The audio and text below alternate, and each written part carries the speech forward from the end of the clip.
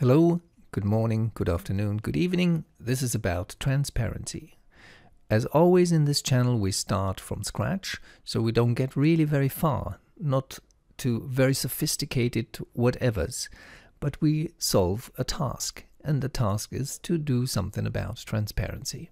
So let's create a plane here under polygon modeling and scale it up a little bit and make the grid invisible because it just irritates us. Now let's create um, a material for it, right mouse button, assign new material, and we pick an Arnold surface shader. It currently has a weight of 0.8, that's the default. We can set it up to 1. We can reduce the specular weight from 1 to 0 because we don't want a reflection here. It's just, it needs to sit there. We just want to see some color. That's all. Not this color, that would be the specular color. We can close the specular section and we can close the transmission section, whatever is open here. And we want a nice color here. So we map the color. Click on this icon. And here we have a selection of textures we can use to kind of place on that surface. And uh, for this tutorial, I go to Arnold textures and create some flakes. It's a very powerful uh, texturing method with only few parameters here. Very powerful, and you can do it uh, in 3D as well. But that's something for another tutorial. I just want to use this for getting some color. Uh, strangely enough, I don't get the flakes visible here in the viewport, so it just looks grayish, but uh, it is there when you render it. Uh, we need a light, of course, so we introduce a sky dome light and we render it so we see the flakes at work here. Let's change the resolution of the flakes, just get you give you a taste of what you can do with it. The color is here, we click here, so we're back at the flakes menu here. Uh, this is the scale when when we reduce it from 0.1 to 0.01, so make it one tenth smaller, we get this impression here we can increase the density here like this, like a contrast. Uh, the step basically changes their position a little bit. That's uh, at least what I guess it is. And uh, the normal randomization gives us more contrast in this case. So we have quite a nice and funky and poppy surface here and uh, this is our first layer. So we put something on top. We just duplicate it control D and move the duplicate up. The duplicate in this case has the same shader so we have two of them. Uh, but we want a different one and we go for a Lambert shader now. New material Maya. This is the most simple shader ever probably one of the most simple ones, yeah. Uh, the color is gray. We can make it white uh, or black. Uh, and we have a transparency here. Let's map the transparency because we want this plane here to be partly transparent. And we can do this by using a bulge, for example.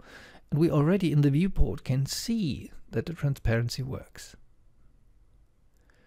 However, when we render it with Arnold, we see a gray surface. And that's because Arnold does not respect the transparency of Maya textures. So we're kind of stuck here. What we'll do is we select it again, right mouse button, and we create yet another material, namely an Arnold shader, a standard Arnold shader like this. And here we have the base set to 0.8. Let's put it to 1.0. Specularity can be down. And now we need to look for the transparency. Where is it? Well, it's a little bit down here and it's called transmission and it's currently set to a weight of zero. So let's try this. So it's totally transparent now and like this. Um, if we want to map a color to it, well, map a color to the color, so to say, namely a bulge, this is what we get. Basically the same as with the Lambert before. But now when we render it, we get that nice effect. Wanted to show you two more things now since we're here already. Uh, you can duplicate this, of course, and rotate it by some degrees, maybe by 90 degrees, sort of. So we have a, a more sophisticated look through two fences, like this. You probably need more light in order to see things properly. But now when you want to deal with the layers here, you actually use the layer editor. And I'll show you in a second uh, what this is good for. So let's pick the first one. That's the one at the bottom. And press Control A, which normally opens the attribute editor, but it does open the channel box. You can toggle Control A, Control A, Control A, Control A. You can also use this uh, side tab here. And all the way down here, we have the layers. So with this selected, we go to create layer from selected. So it's called layer one now. And when we click here on visible, it's gone. Is it gone in the rendering as well? It sure is. So this is uh, a switch to switch it on and off. We do the same here. Uh, it's very fast really. Create from selected. This one is gone now. And again here. So we have three layers now. And we can, for example, say we want to deal only with the middle one. So we deselect those two and work with the middle one. What are we going to do with the middle one? Well, we go back to the attribute editor right here or control A and we can do things to that shader now. And that's the placement right here.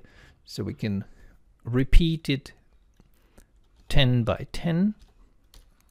So we have more grid parts here and we can introduce some noise like this 0.1 see the noise working quite lovely you can animate all these parameters. Obviously, there's another tutorial I did about exactly this.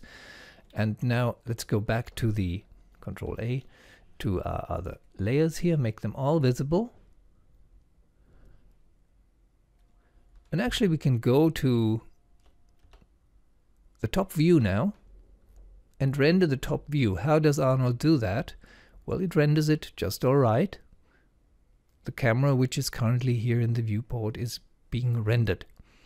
Now we need more light. How do we do that? So we just raise the intensity of the SkyDome light. With the layers here in the layer editor, you can also do something like that. You make only one of them visible and render it or render the sequence uh, if it's animated. Then you render the second one only, and then the third one only, and then you import the rendered image sequence into a video compositing software like Adobe After Effects or Premiere or Final Cut Pro X, and then you can play with the layers. And uh, this is, of course, more sophisticated than what you can do in Maya. Maya is not a compositing tool; it's a it's an anim animation tool, and we're already, in this case, getting close to compositing. Well, I did some animation, uh, just a little bit with this, and I'll show you this at the end now, and uh, have a nice day. Bye-bye.